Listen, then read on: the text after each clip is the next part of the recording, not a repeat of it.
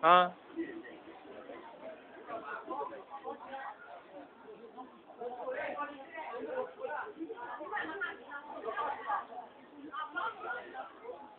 看完我们看完了。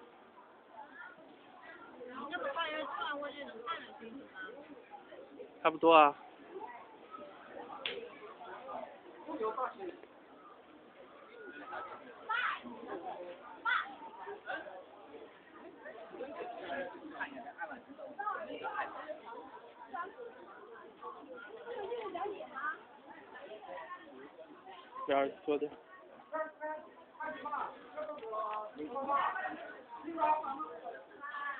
我帮你录。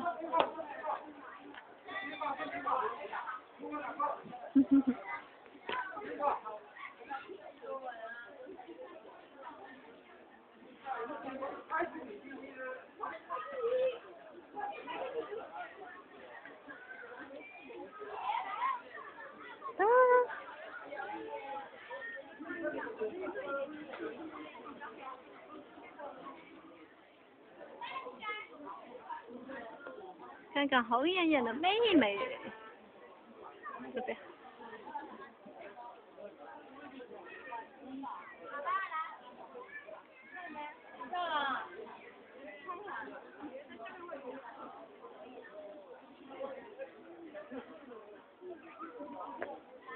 还录不？咔嚓了。好激情的是吧？对呀、侯艳艳，下一个，快点，这边。笑一个。嗯，那要不要也笑一个吧？哈哈哈。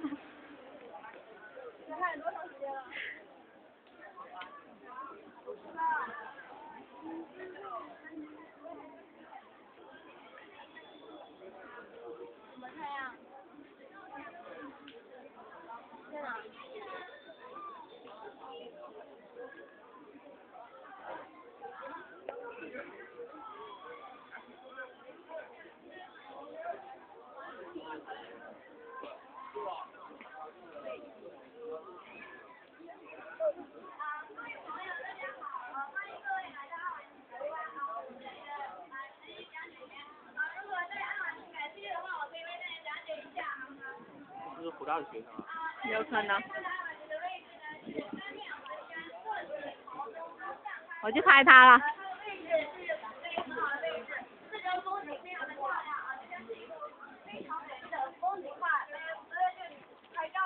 风景非常漂亮。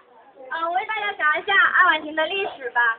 爱晚亭呢，它是建在清朝乾隆皇帝五十七年，也就是一千七百九十二年的时候，当时是由我们岳麓书院的院长罗典先生一手创建起来的。嗯，它是我们中国的四大名亭之一。啊，现场的各位有没有知道其他三大名亭的呢？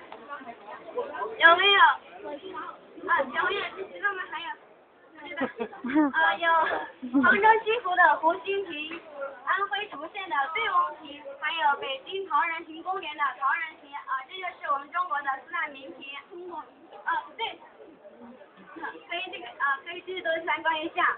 呃，那么爱晚亭呢，它原来不叫做爱晚亭的，因为爱晚亭呃，就是因为这个亭子旁边非常多的枫叶，那个时候叫做红叶亭和爱枫亭。呃，之所以呃之后来改名为了爱晚亭呢，是根据唐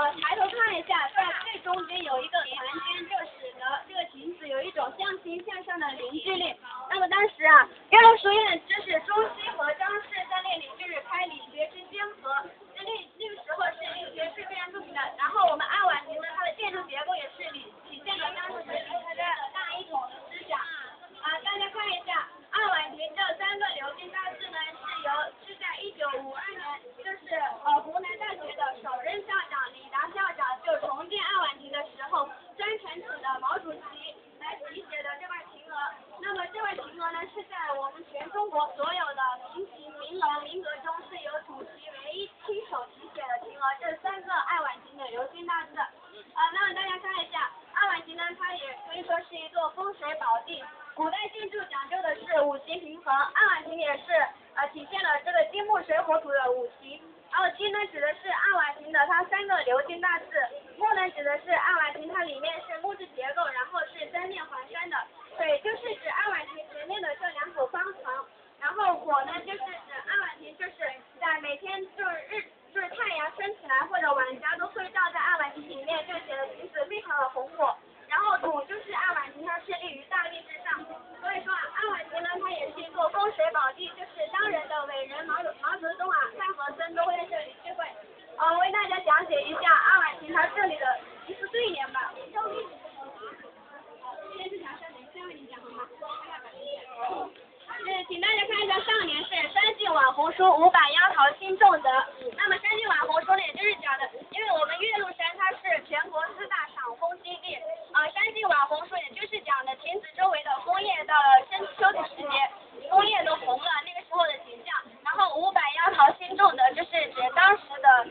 书院的院长罗典先生，他希望自己的学生能够桃李满天下，啊，然然后请大家看一下，啊，下联是霞水，呃，霞霞云深翠堤，一双驯鹤带浓来。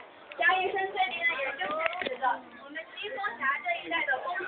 一双庆贺带龙来呢是这样的，啊，当时啊，岳麓书院的院长罗典先生，那个时候也叫做方鹤先生，啊，那个时候带龙来就是指当时啊，罗典先生希望当时的皇帝能够也能够到爱晚亭来看一下。